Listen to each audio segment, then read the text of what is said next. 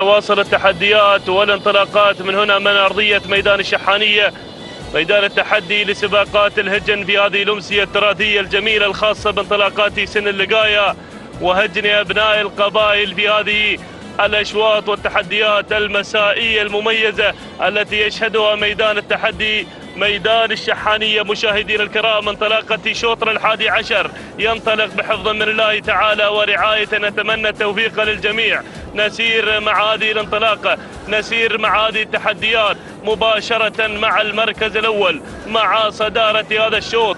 أول الأسماء المفتتحة للنداء والإذاعة. هنا من تقود الأسماء الراسية عبد الله بن راشد بن سيف. الجفال النعيمي من يقدم لنا شعاره وتحدياته الاولى مع المركز الأول بينما المركز الثاني تتواجد هنا صدى. سالم بن زيد بن راشد بن نديلة المري من يقدم لنا صدى. مع المركز الثاني بينما المركز الثالث التواجد من سمو عبد الرحمن بن حمد بن علي النهاب. المري من يقدم لنا انطلاقة سمو على مستوى المركز الثالث.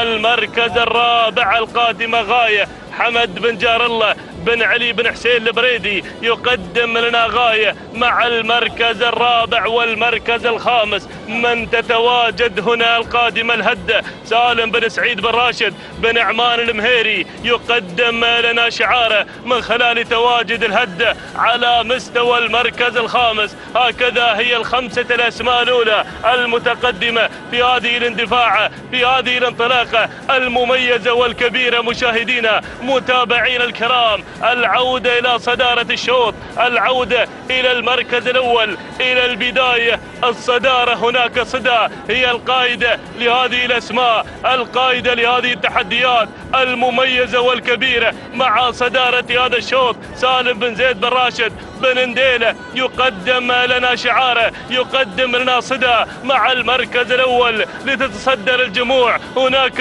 مع البداية بينما المركز الثاني تتواجد سمو لعبد الرحمن بن حمد بن علي النهاب المري من يقدم لنا شعاره. من خلال أيضا تقدم سمو على مستوى ثاني المراكز بينما المركز الثالث غاية لحمد بن جار الله البريدي من يقدم. لنا اندفاعة غاية مع المركز الثالث المركز الرابع الوصول من نوفا علي بن محمد بن علي الفهيدة المري من يقدم لنا انطلاقة نوفا مع المركز الرابع المركز الخامس الوصول والتقدم من الجذابة علي بن عبد الله بن علي الفهيدة المري شعار البطين بدأ يقدم لنا انطلاقة وحضور الجذابة مع المركز الخامس هكذا هي الخمسة الأسماء الأولى المتقدمة في هذه الانطلاقة في هذه الاندفاعة المميزة والكبيرة ولكن العودة مع صدارة هذا الشوط مع هذه الانطلاقة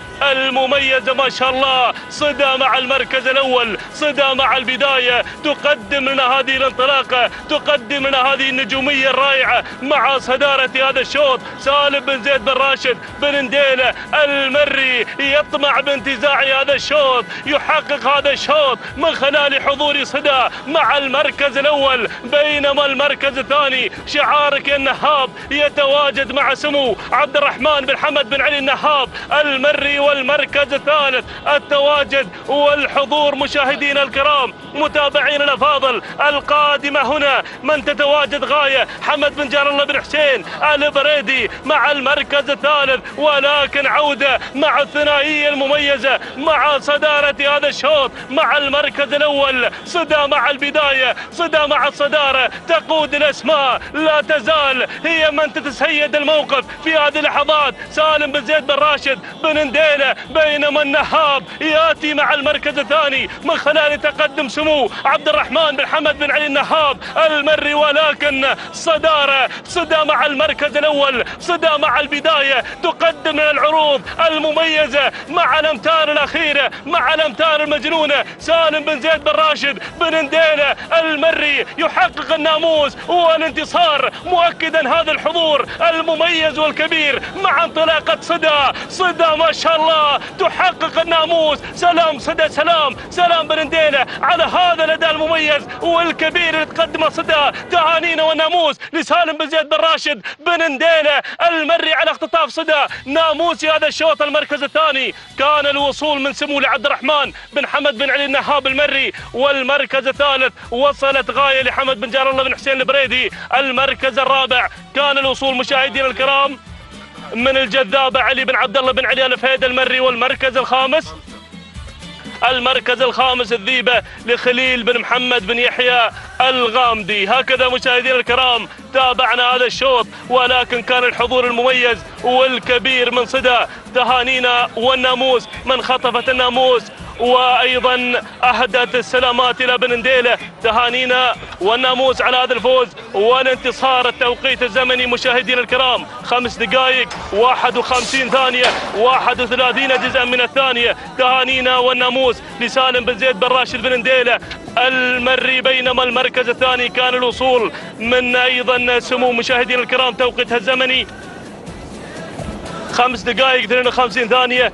89 جزء من الثاني تهانينا والناموس لعبد الرحمن بن حمد بن علي النهاب المري.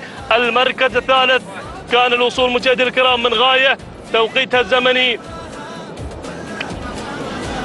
خمس دقائق و59 ثانية و63 جزء من الثاني تهانينا والناموس لحمد بن جار الله بن علي بن حسين البريدي تهانينا والناموس للجميع.